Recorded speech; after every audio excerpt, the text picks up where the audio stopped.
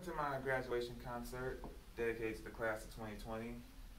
We've, um, we've had a pretty rough couple of months with the quarantine and the virus and everything, but I wanted to put this on as a celebration to us and our futures. So, um, this um, concert, it's all my music, it's stuff that I've been working on both for the past couple of months and my older projects. And um, I hope you guys enjoy.